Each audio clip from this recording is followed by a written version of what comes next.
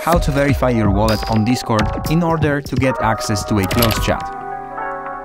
If you want to get access to Everdome exclusive closed Discord groups for NFT holders and chat with other top tier Evernauts, you will have to verify your wallet and in this video I will guide you step by step so we can safely join the chat.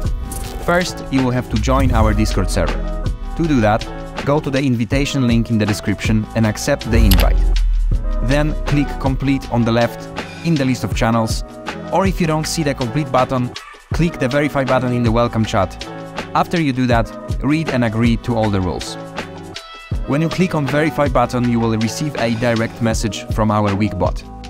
Beware of scams, our bot does not ask to connect wallet or for any funds.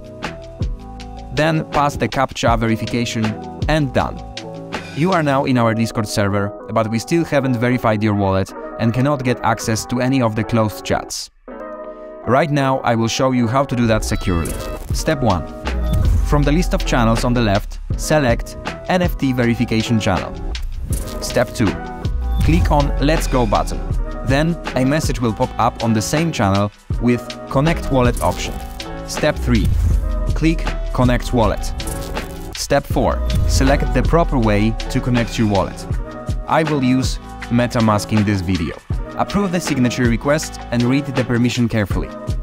This is a Collabland bot and it only requests signature to read your wallet. No transactions, only reading, so you don't have to worry about any lost funds or getting hacked. It's 100% safe. Step 5. Connect wallet. Make sure that it's on the Ethereum network. And done. You are now assigned a role according to the NFT tier that you hold and have access to all the closed chats that you are eligible for. Thank you for your attention and see you in the Discord server. Bye bye.